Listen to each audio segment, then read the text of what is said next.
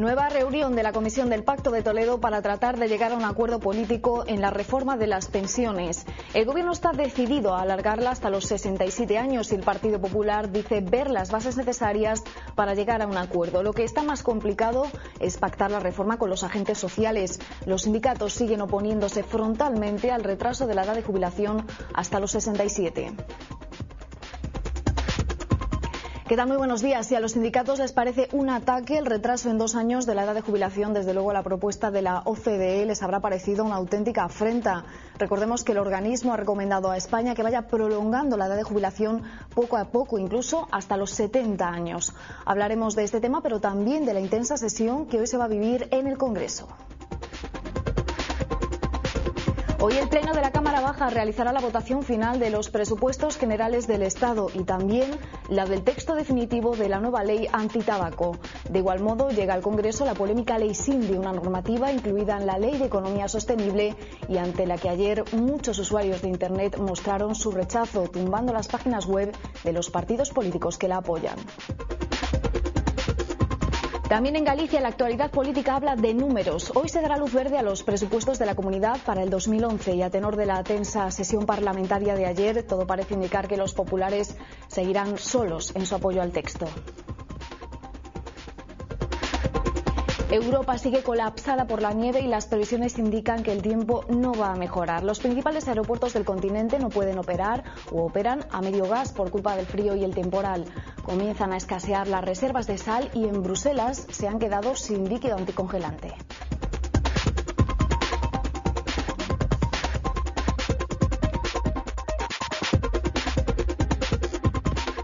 Presagios se cumplieron. El cuerpo del marinero Jesús Vieira, de 41 años, será hallado en el interior de su camarote totalmente calcinado.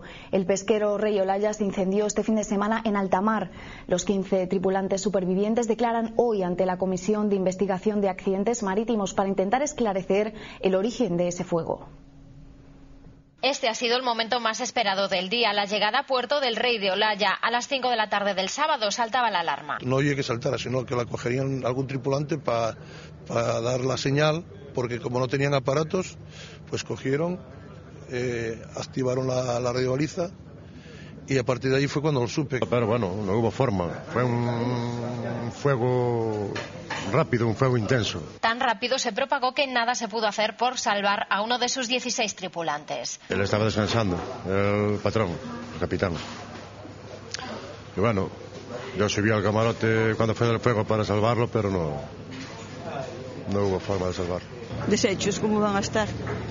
Desechos. Pasaron muy mal y más viendo ahí al compañero que no podían hacer nada por él.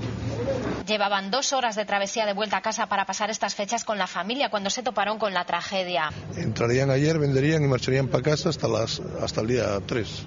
Que alguien que va a buscar el sustento, alimentar a su familia, acabe muriendo en condiciones tan trágicas. Y también para unos padres ver cómo muere el hijo. Un ejemplo es Javier, tripulante del Rey de Olaya, que ha sobrevivido ya a dos incendios y a un naufragio en alta mar. Los bomberos han tenido que emplearse a fondo durante casi dos horas para extinguir el fuego, que se ha reiniciado con el barco ya en puerto. Deciros que había 1.600 grados en el, anterior, en el interior, en la zona de camarotes, y bueno, fue a abrir la puerta y a comenzar a arder otra vez. Y se complicó bastante porque eh, parte de las paredes interiores, de los mamparos y de las puertas habían caído y lo encontramos debajo de, de una de ellas, con lo cual, bueno, pues ya visteis que se alargó mucho el, rescate. Por la tarde, los tripulantes han prestado declaración ante la Guardia Civil de Burela. El cuerpo de Jesús Vieira, de 41 años, ha sido trasladado al hospital de Lugo para realizarle la autopsia. Cambiamos de tema y hablamos de economía, porque mucho se lleva especulando estos días con la deuda de las comunidades autónomas desde que la semana pasada la, agenda, la agencia de, calificación Moody's las pusiera en el punto de mira. El Gobierno y las autonomías han salido al paso para callar las dudas con transparencia. Han dejado claro que el déficit autonómico está dentro de lo previsto. En el tercer trimestre ascendió al 1,24% del PIB, por lo que el Ejecutivo está convencido de que cumplirá con el objetivo fijado, acabar el año por debajo del 2,5%. La gran mayoría de las comunidades mantiene un nivel de déficit moderado, entre ellas Galicia, con un 0,65%, y solo dos, Murcia y Castilla-La Mancha, superan la barrera del 2%. Perfectamente compatible con el objetivo de estabilidad fijado para el conjunto de las administraciones públicas del 9,3 y, en particular, con el fijado para las comunidades autónomas de 2,4 en 2010, que no tiene nada que ver con el informe de Moody's que fue publicado el día 15. Pero ante las dudas, desde luego, transparencia. Ante las dudas, transparencia. Desde el Tesoro, desde el Ministerio de Economía y Hacienda, tenemos una absoluta tranquilidad. Eso no quiere decir, evidentemente, que no deseemos que los mercados se estabilicen. Los presupuestos del 2011 afrontan hoy su último trámite en el Parlamento gallego. Las votaciones y todo parece indicar que el Partido Popular se va a quedar solo en su defensa de las cuentas de la Junta. La oposición sigue criticando unos presupuestos que califican de deprimentes y piden límites a la financiación público-privada Volvieron al Parlamento después de que la Comisión rechazara la mayoría de las enmiendas. La oposición volvió a remeter contra el proyecto de presupuestos, mientras que el PP insiste en que palían el recorte de derechos que propugna el Gobierno central. Non deixa de sorprender que aqueles que tiñan resposta para casi todo antes de chegar ao goberno agora mosen tal austeridade de ideas, de propostas. Un orzamento decepcionante e depresivo un orzamento que soamente garante máis desemprego. Quero presentar o modelo do Partido Popular como alternativa á poda socialdemócrata que realmente infunde algo de temor. La fórmula de financiación público-privada volvió a escena. La oposición pide que se limite a 300 millones para el 2011. Consideran que abre la puerta a las privatizaciones, algo que el PP niega. Van a producir un maior coste para o conxunto da cidadanía galega. Un coste importantísimo que vai a supoñer unha lousa, unha débeda importante. O lóxico e razoable é que o Goberno presenta a este Parlamento en tres meses cales son as límites á colaboración público-privadas que podemos permitirnos para manter a solvencia. Este Parlamento é o Parlamento que ten máis información sobre o gasto a través de colaboración pública e privada de todo o Estado. El debate continúa a la espera de las votaciones que pondrán fin al trámite parlamentario.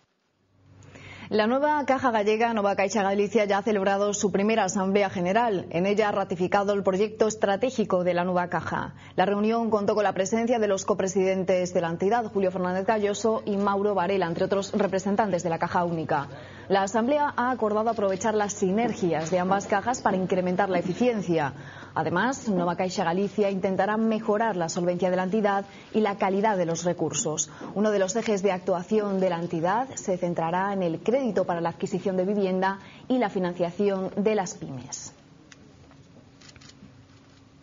Los trabajadores de los servicios de ambulancias irán a la huelga mañana en protesta por el decreto del transporte sanitario. Dicen que les quieren rebajar el sueldo en un 10%, pero que además, con su entrada en vigor, muchas localidades rurales se van a quedar sin servicio. De modificarse el decreto do transporte sanitario, los servicios de ambulancias en Galicia se verán seriamente mermados. Por ello, los sindicatos CIGA, UGT y Comisiones Obreras han convocado una huelga para el próximo miércoles. Aseguran que entre las zonas más afectadas por los recortes están O Morrazo y también Cedeira. O Concello de Cedeira é moi probable que se quede sin ambulancia durante a noite. Eh, sei que fai seis servicios a semana. Claro, se seis servicios a semana non deben de merecer ter unha ambulancia ali Tamén los pacientes que necesiten diálisis podrían quedarse sin transporte de ambulancias. A unha persoa que vai a facerse diálisis vai, vai nunhas condicións, pero cando volve de facerse diálisis, por desgracia, pois o, a persoa ven bastante tocada. Non? Bueno, pois o van a meter nun transporte colectivo Con eso se pretende encargar en torno ao 20% dos servicios do transporte non urxente. Pero esta huelga tiene a su vez motivos económicos. Los trabajadores del sector dicen que con la entrada en vigor del decreto perderán el 10% de su sueldo non vamos a tolerar que desde a parte patronal haya incumplimento do convenio colectivo firmado polas partes. Aseguran a su vez que este año no les han abonado todavía la paga extra de Navidad.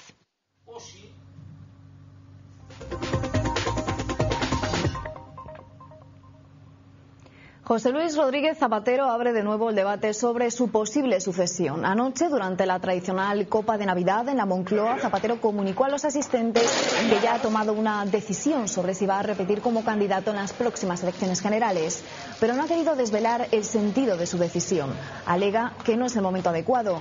El presidente dijo que solo dos personas conocen sus intenciones, su mujer y una persona del partido de la que no ha querido dar su nombre. Bueno, pues repita o no repita el presidente, ya no se va a librar de la reforma de las pensiones. Hoy se reúne de nuevo la Comisión del Pacto de Toledo para tratar de alcanzar consenso político. Lo que se perfila casi como imposible es el acuerdo con los sindicatos, que no quieren oír hablar de retrasar la edad de jubilación hasta los 67. Mucho peor les habrá sentado la propuesta de la OCDE, que en su informe anual pide a España que vaya más allá de los polémicos 67 años. Vivimos más, por lo que también hay que trabajar más. Ese es el principal motivo para alargar la edad de jubilación. El Gobierno sigue firme en los 67 años, pero la OCDE ha ido más allá. Propone que se vaya ampliando la edad poco a poco, de modo que en 2025 todos se jubilen a los 67 y no se queda ahí, ya que la idea sería seguir aumentándola al mismo ritmo que la esperanza de vida. Así que en 2050 se trabajaría hasta los 70 años. El Gobierno ha incluido la flexibilidad en su propuesta. Aquellos que desempeñen trabajos penosos o quienes hayan empezado a trabajar muy pronto y tengan entre 36 y 40 años cotizados podrán retirarse antes. El Ejecutivo sigue buscando consenso con sindicatos y partidos. Es posible alcanzar un buen grado de consenso parlamentario alrededor de una reforma que tenga en cuenta el alargamiento de la edad legal de jubilación y el Partido Popular está dispuesto a dialogar. Estamos dialogando eh, con el Gobierno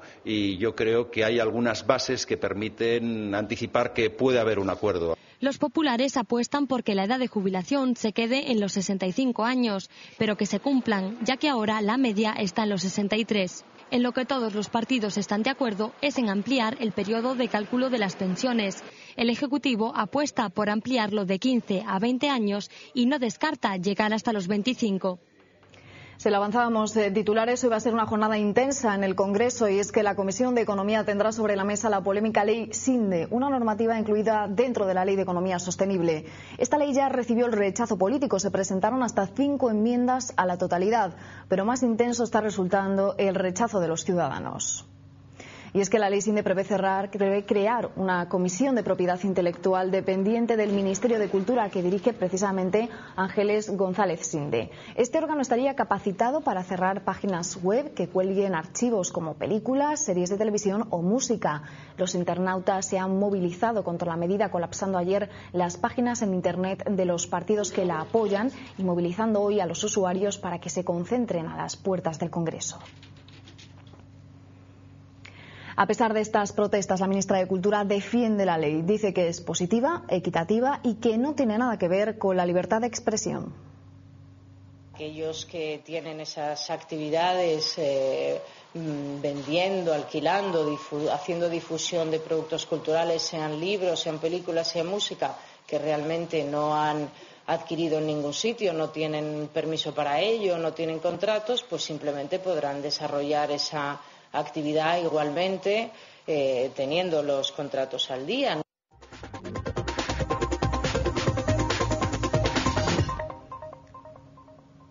A solo tres días de la Navidad, el temporal de frío sigue bloqueando media Europa. Los transportes se han llevado la peor parte. 3.500 vuelos han sido cancelados en los principales aeropuertos europeos. En España han sido anulados 132 y las previsiones indican que el tiempo no va a mejorar. Miles de ciudadanos pasarán su tercera noche tirados en el suelo de algún aeropuerto europeo.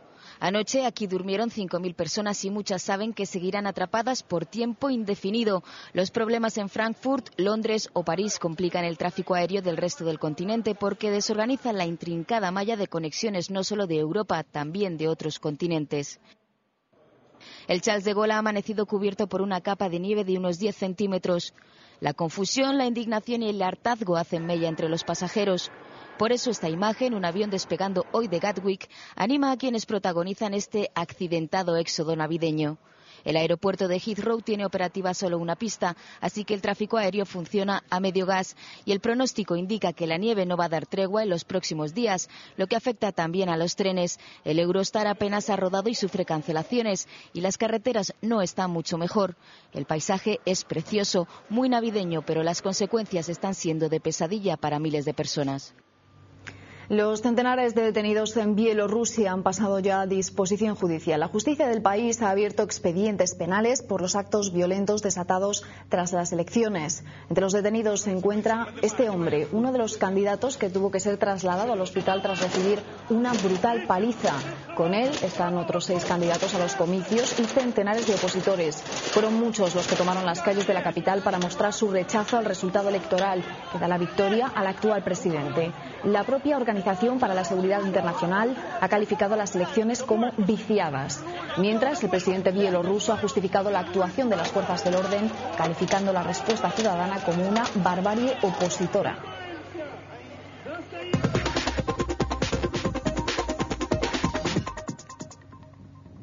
La liga acaba de terminar en este 2010 para el Deportivo, pero queda la Copa. Los de Lotina se enfrentan esta noche al Córdoba en la ida de los octavos de final. Antonio Tomás vuelve a quedarse fuera de la lista tras su enfrentamiento con Urreta.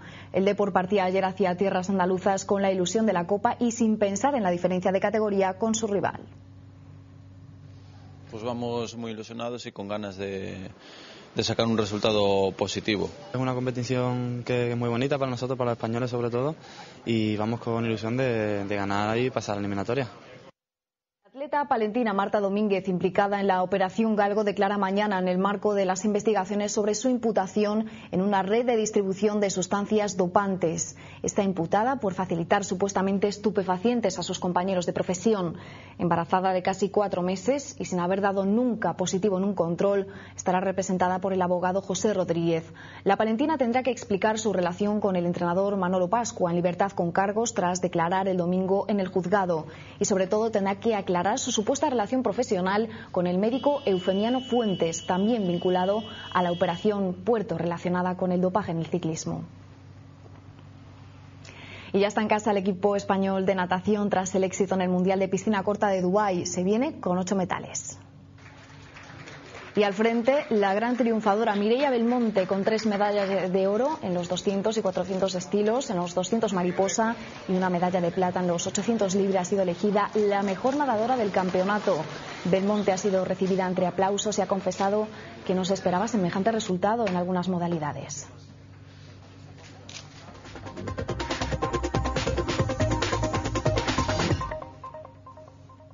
Estos días la estampa más típica en las ciudades del país no tiene nada que ver con el árbol ni con los Reyes Magos. Los décimos de lotería son y serán los protagonistas hasta que llegue mañana el día más esperado, el sorteo de Navidad. Cuenta atrás para el esperado sorteo de la Lotería de Navidad y todavía son muchos los rezagados que no han hecho los deberes durante el año y se agolpan en las administraciones para comprar un billete de última hora que los haga soñar. Aún así, ya es tarde para conseguir un número bonito. Algo queda, pero bueno, ya la mayor parte de los números que están liquidados, lógicamente. Ahora te van quedando así los restos que te vienen devolviendo a última hora y, y algo más así de esos que le llaman ellos números feos, que pueden tocar exactamente igual. Superstición o no, hay números que ocupan los primeros puestos en ventas, algunos de ellos agotados desde hace meses. Los más populares, los terminados en 5, 7 y 9 y por supuesto en 10, haciendo honor al año que se acaba. Cantidad de gente chamou por 41.110. Outra chamou moito por... No, 40.110. 40, e outra chamou por 9.710. Infinidad de gente. El 18.810. No sé por qué ni por qué no, lo mandamos a media España. Las cifras de este año son ligeramente mejores que las del pasado 2009. Quién sabe si debido a que la ilusión crece cuando más se necesita. En menos de una hora, a las nueve puntos, regresamos con más noticias aquí en Galicia, Nube Televisión.